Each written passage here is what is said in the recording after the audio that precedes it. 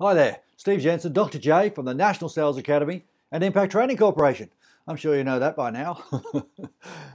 How you been? Hope you had a great week. Hope things are traveling along really smoothly for you. Today's a bit different. Sales. Isn't that funny word, sales? What is sales? Selling is a dirty word, they say.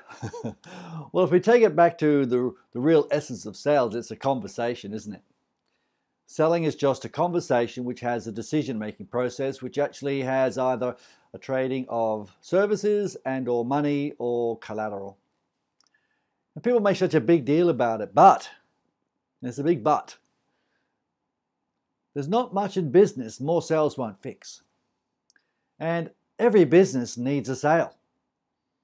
We need to get some revenue, we need to then make sure that we have an ROI and all that sort of jazz. So selling.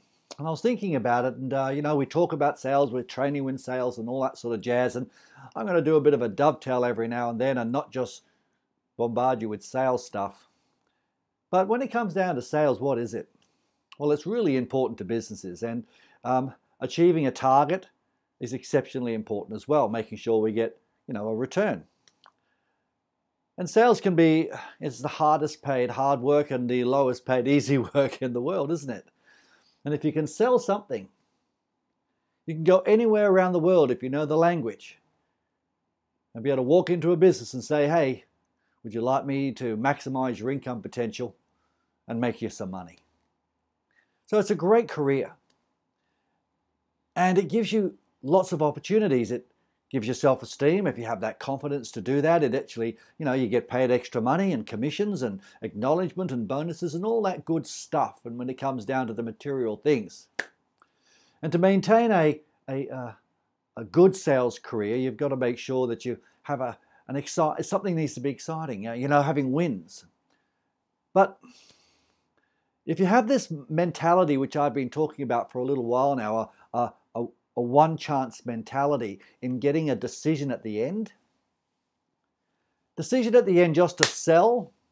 Look, there's going to excite some people, and getting that sale is always great. It's like catching a fish and then letting it go, whatever the case may be. But I believe it's really essential for people to have longevity in this career of professional communication is to go from this selling mentality to a to a helping mentality. You know, help more people get what they want and you'll get what you want, they say. Isn't that right? So, look, I've been training and presenting and helping businesses uh, for over 30 plus years. And I must say that um, I've learned that the people that really truly love smashing targets and, and, achieving and making sure they do whatever it takes are usually really successful. But, and it's again a but, the, the people that have an absolute passion and commitment and belief that their, their product and service is really needed by the consumer, their prospect, or the person they've just engaged with. They really are passionate about it.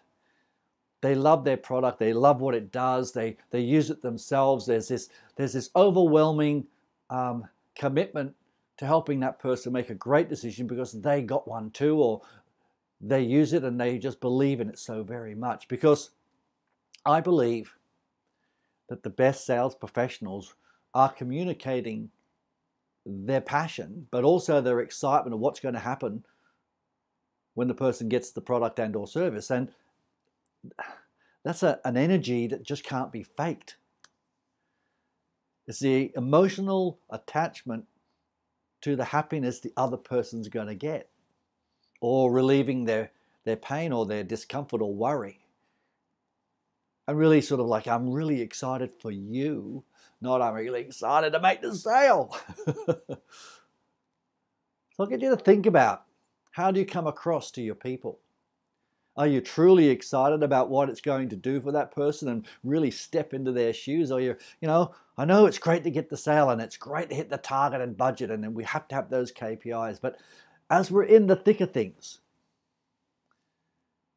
Go from that selling to helping mentality and really be into helping that person make a really great decision. and be excited for them because that's a contagious energy that makes people really say, wow, thank you for helping me. And then they sign the check or give you the cash. That's a that's an outcome of following the process. But a process can't come from in here. It has to go from here, and you've got to learn the process and do it. But it's got to be delivered with that passion and that excitement. So have a think about are you passionate about your product and service? And if you're not, start getting excited about it because what the outcome it's going to give someone is going to help them, it's going to relieve a stress, it's going to make them really happy. So it's a bit of a thought, I suppose, for today. And you, if you are that person that's excited about that possibility, that will be contagious. Have your process right and present with authenticity, and you can both celebrate. I'm Dr. J. I'll be chatting with you real soon. Bye for now.